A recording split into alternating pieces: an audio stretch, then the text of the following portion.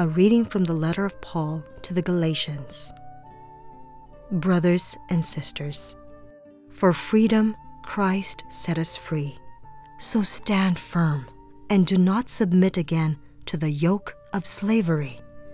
For you were called for freedom, brothers and sisters. But do not use this freedom as an opportunity for the flesh. Rather, serve one another through love. For the whole law is fulfilled in one statement, namely, you shall love your neighbor as yourself. But if you go on biting and devouring one another, beware that you are not consumed by one another. I say then, live by the Spirit, and you will certainly not gratify the desire of the flesh. For the flesh has desires against the Spirit, and the Spirit against the flesh.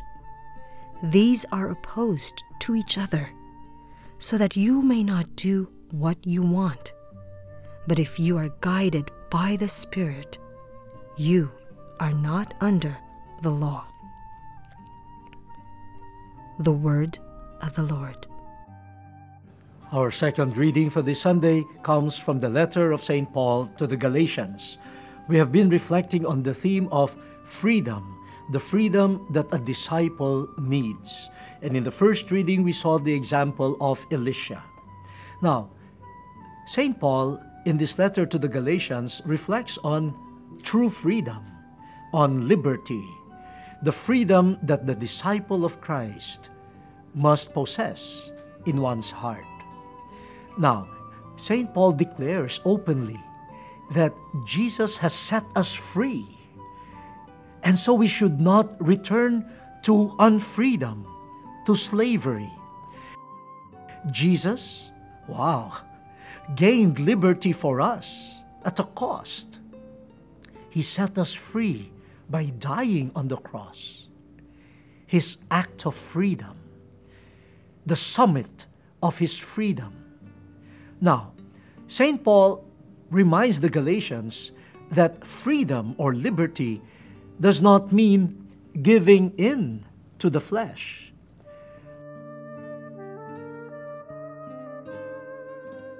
Now, this is a good reminder to all of us. We should not say, okay, Jesus has set us free, so I can do whatever I want to do. I am free. Thank you, Jesus, for making me free. Well, St. Paul knows human psychology. So he says that is not true freedom if you give in to the dictates of the flesh, if you give in to the dictates of sin, if you give in to the dictates of this world, then you are back to slavery. So, freedom is not just being able to do what I want to do. That is not the case. For the Christian understanding of freedom in the context of discipleship, Freedom is not self indulgence, freedom is in love. Love, which is the summary of the law according to St. Paul. If you love your neighbor, if you love God, you're totally free. For a person who truly loves will not do anything against God or neighbor.